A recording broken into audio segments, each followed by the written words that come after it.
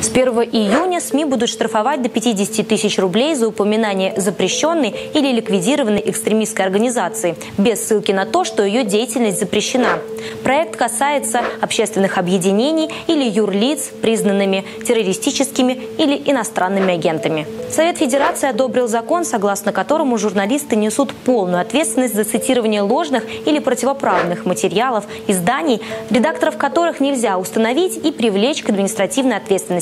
В частности, оренбургские СМИ теперь не смогут ссылаться на анонимные телеграм-каналы, даже если в достоверности информации они полностью уверены. Совет Федерации одобрил закон, запрещающий лицам, причастным к терроризму или экстремизму, участвовать в выборах всех уровней.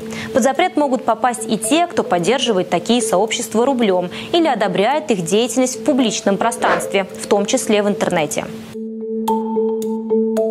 Напомним, ранее мы уже рассказывали о том, что за последние полгода российские политологи отметили рост поправок в законы, направленные на подавление несогласных, в том числе расширение списка иностранных агентов и ответственность за публичное распространение ложных сведений о Великой Отечественной войне. Так ранее, применив новые законы, закрыли фонд борьбы с коррупцией Навального и признали иностранным агентом интернет-издания «Медузу». Причиной резкого роста числа репрессивных законов политологи назвали приближение выборов в Госдуму. Вероятно, подобных проектов будет становиться больше. Валерия Шарова, Артем Букреев, городской телеканал ЮТВ.